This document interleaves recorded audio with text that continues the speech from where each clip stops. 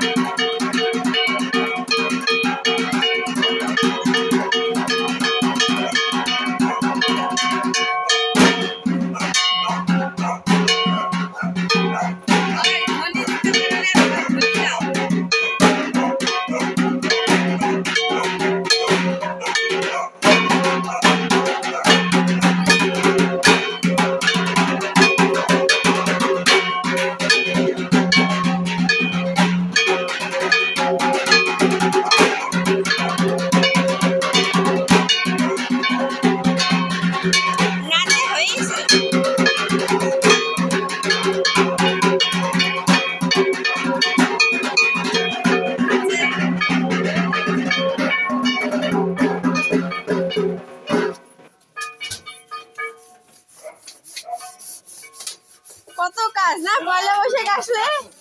কাজের আর শেষ নাই। বাপরে বাপ।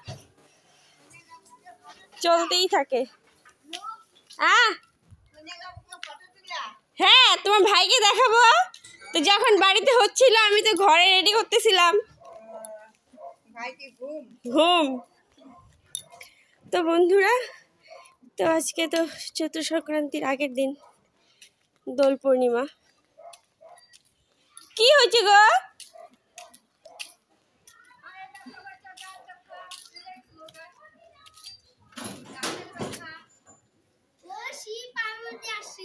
মানুষের না আসেই বলো।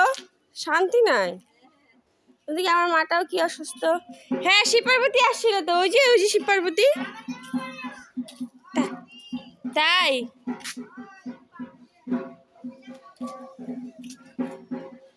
যাই হোক বন্ধুরা, এসছিল, ভালো লাগল। প্রথমে ভেবেছিলাম দেল এসছিল, এখানে আমার শ্বশুরবাড়িতে নীল ঠাকুর বলে। তারপরে জল বের করেছিলাম, তো সেটা পরে লাগল না। মানে যেখানে বসা সেখানে ধুয়ে দেয় যে। তো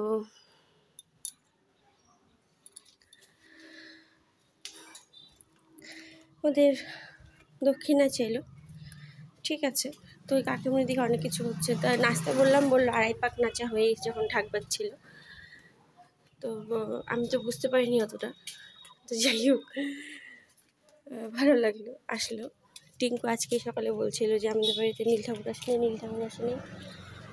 তো আমি বললাম "না, কিন্তু তো হয়নি ওই বাড়িতে এখনও আছে।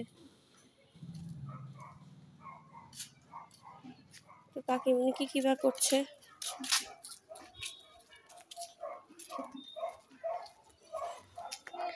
আর একটু যাই দেখি। তুমি ঘুমাও নাই।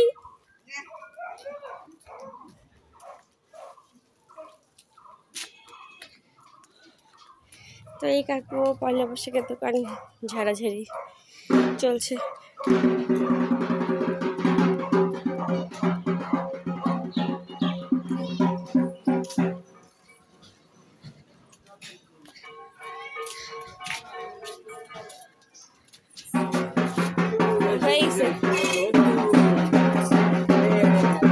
হয়ে গেল এর মাঝে তারা কিছু করেছিল যাই হোক ভালো লাগল। যাচ্ছি কোন যাবে। এখন যাবে।